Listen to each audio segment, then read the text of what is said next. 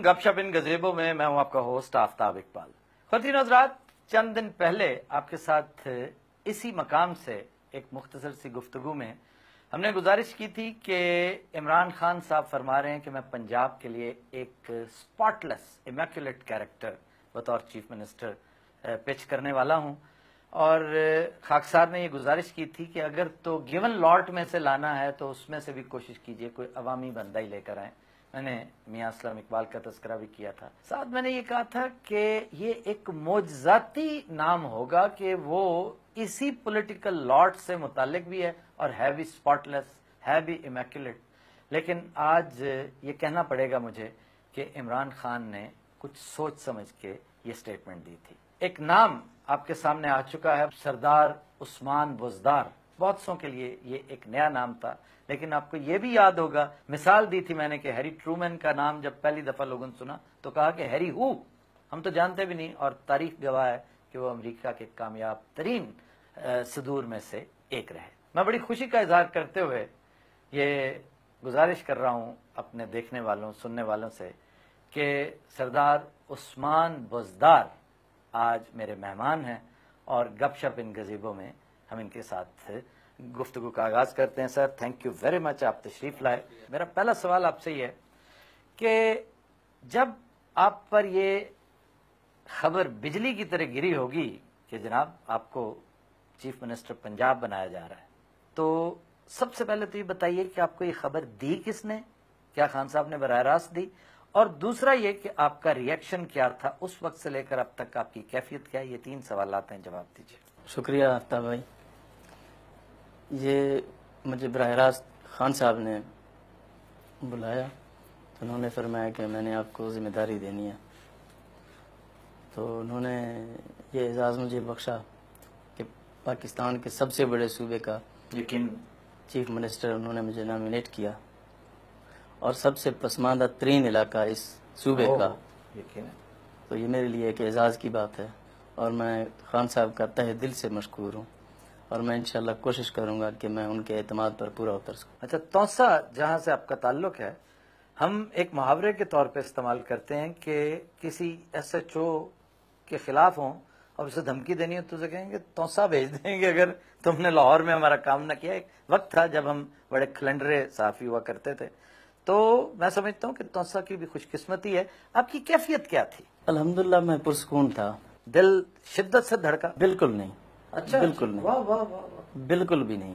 یہ بڑی دلچسپ بات ہے اور میں یقیناً کبھی میں نے اس عہدے کی خواہش نہیں کی ہے۔ بس تبھی نا یہی یہ وجہ میرے لیے ایک امتحان ہے چاہے ایک دن رہے ایک گھنٹہ رہے ایک سال رہے یا دس سال رہے یا پانچ سال۔ مجھے نہیں پتا سردار صاحب آپ آئندہ کیا کرنے والے ہیں لیکن آپ کی سٹیٹمنٹ کے بعد میں یہ کہہ سکتا ہوں کہ انشاءاللہ آپ کا یہ سفر ٹھیک ہی گزرے گا۔ ہے یہ آزمائش۔ اس کو بیڈ آف روزز ہرگز نہ سمجھے گا۔ ڈیفینیٹلی یہ آزمائش ہے اور وہی کامیاب ہوگا جو اس کے لیے کوئی اتنا ایسپائر نہیں کر رہا تھا۔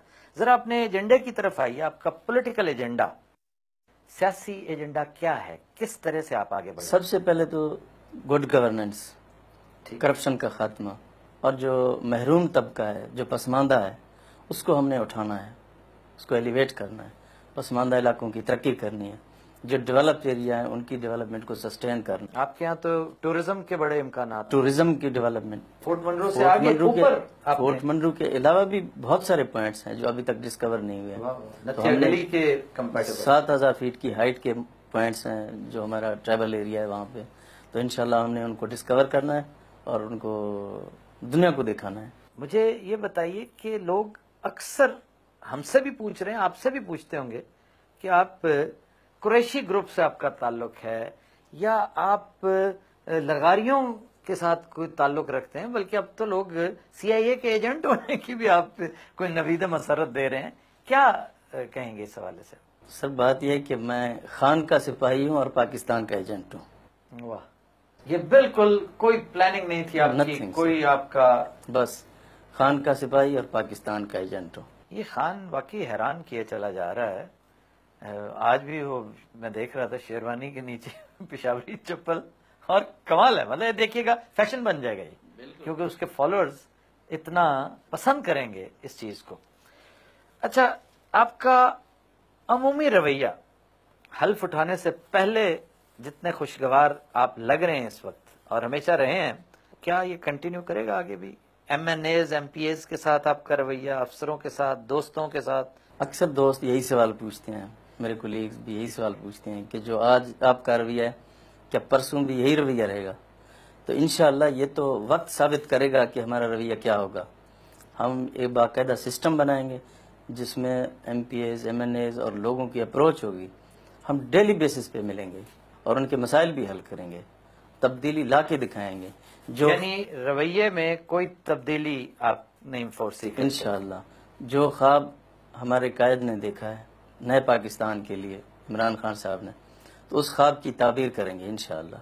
اس کی بنیاد ڈالیں گے۔ آپ یہ بھی جانتے ہوں گے کہ جب یکا یک بیٹھے بٹھائے آپ کا ایک طرح سے آزمائش تو ہے ہی لیکن سردار صاحب یہ لاٹری بھی ہے۔ کہ بیٹھے بٹھائے لاٹری کی خبر بھی اسی طرح آتی ہے۔ مجھے یاد آ رہا ہے، اپنے اطالیق، اپنے استاد، اپنے بہت پیارے دوست اور محسن، بزرگ دوست، مرحوم حنیف رامے صاحب کا ایک قصہ، جو کہتے ہیں کہ میں، وہ ایک بالکل ایک عام سے سیاسی دانشور، ورکر، لیکن انہیں چیف منسٹر بنا دیا گیا۔ تو کسی نے کہا کہ تمہیں پتا ہے، حنیف رامے چیف منسٹر بن گیا۔ وہ کیسے بن سکتا ہے؟ وہ تو میرا کلاس فیلو ہے۔ یعنی کلاس فیلو کے بارے میں دوسرا یہ سوچ بھی نہیں سکتا تو آپ کے بھی میں سمجھتا ہوں کہ حاسدین کی ایک فوج ظفر موج ہے، جو یک یک اٹھ کھڑی ہوئی ہے۔ اور میں گزشتہ چوبیس گھنٹوں میں دیکھ رہا ہوں کہ کوئی ٹرینڈز بنائے جا رہے ہیں۔ آپ کے خلاف ایک منفی پروپیگنڈا کہیں آپ کو نیب کے کسی جھنجٹ میں پھنسا دیا جاتا ہے کہ جی انہوں نے پیٹرول بہت زیادہ استعمال کیا تھا، بطور تحصیل ناظم۔ اور کہیں ڈیولپمنٹ فنڈز سے متعلق کوئی بک بک میں یہ بھی سنتا رہا ہوں۔ اور سب سے زیادہ ظلم اس احمقانہ فوٹیج نے کیا کہ کوئی ایک صاحب ہیں جن کا تعلق پروبیبلی خانے بال سے ہے، انہیں آپ کا ہم شکل بناتے ہوئے، حالانکہ نہ وہ آپ کے ہم شکل ہیں، نہ وہ اس طرح کی سرائکی بول رہے ہیں جو آپ کی اصل زبان ہے، اور نہ وہ آپ جیسے دلیر ہیں۔ مطلب اگر آپ کو چیئر لفٹ پہ بیٹھنا پڑ بھی جاتا تو میں آپ کو جانتا ہوں۔ آپ بزدار ہیں اور بڑے جیدار ہیں۔ تو یہ باتیں کون کر رہا ہے؟ یہ کون لوگ ہیں؟ میری نامینیشن کے بعد سوشل میڈیا پہ اور مختلف چینلز پہ مختلف قسم کی سکینڈلز آ رہے ہیں روزانہ بیسس کے اوپر۔ تو جب ان کی تفتیش ہوتی ہے جب ان کی انکوائری ہوتی ہے تو ساری بیسلے ثابت ہو رہی ہیں۔ تو کوئی بات نہیں ہم ادھر ہی ہیں اور بھی کوئی چیز ہے وہ بھی لیں اس کا بھی جواب دیں گے۔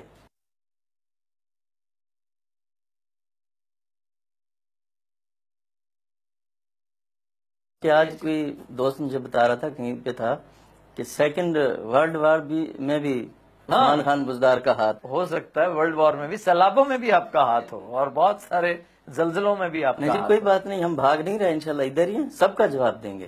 آپ آنے والے دنوں میں گورننس کے حوالے سے میں پھر لا اینڈ آرڈر کو ذہن میں رکھتے ہوئے بات کیونکہ میں لاہور میں رہتا ہوں اور مجھے ایک طویل عرصہ تھا، میرے جیسے بہت سو کو یہ انگلی ہانٹ کرتی رہے گی بڑی دیر تک۔ یہ انگلی بڑے زور سے ہلتی تھی، لیکن لا اینڈ آرڈر کا آج عالم یہ ہے کہ لاہور میں باقاعدہ آپ کو لا لیسنس کی کیفیت ڈیکوائٹی ڈکیتیاں، چوریاں، وارداتیں ہنس کرائمز وہ مل رہے ہیں، نظر آ رہے ہیں۔ لاہور میں اگر یہ حال ہے تو راجن پور کیا ہوگا؟ تو اس کو کیسے ہینڈل کریں گے؟ سب سے پہلی پرائرٹی گورنمنٹ کی لا اینڈ آرڈر کی ہوتی ہے کہ وہ لا اینڈ آرڈر کی صورتحال سب سے پہلے بہتر کریں۔ جب ہم میرٹ پہ فیصلے کریں گے تو یہ سارے کام ٹھیک ہو جائیں گے انشاءاللہ۔ اور جو خان صاحب کا وین ہے، ہم نے اس کو امپلیمنٹ کرنا ہے۔ بیوروکریسی کے حوالے سے، کیونکہ بیوروکریسی پہ بہت ڈپینڈ کرے گا کہ آپ کن کن لوگوں کو لے کر آتے ہیں۔ ہمارا مشورہ تو ہوگا زیادہ تر جو کھڈے لائن لگے ہوئے نا بیچارے۔ آپ کو پتا کھڈے لائن لگتا ہی وہ ہے جسے نو کرنے کا اللہ نے حوصلہ دے رکھا ہو۔ تو ان لوگوں کو ضرور کھنگالیے گا، کیونکہ گزشتہ دور میں یہ وہ مجاہدین تھے جنہوں نے نو کہنے کی اللہ نے ہمت دی۔ سردار صاحب، ان انتہائی نیک تمناؤں کے ساتھ کہ اللہ تعالیٰ آپ کو کامیابی سے ہمکنار کرے، ہم آپ کا شکریہ ادا کرتے ہیں۔ اور توقع رکھتے ہیں، جیسا کہ آپ نے وعدہ کیا کہ عید والے دن آپ تشریف لائیں گے غریب خانے پر، ہم اپنی پوری ٹیم کے ساتھ ایک عید مبارک آپ کو خصوصی کہیں گے۔ بہت شکریہ، sir thank you very much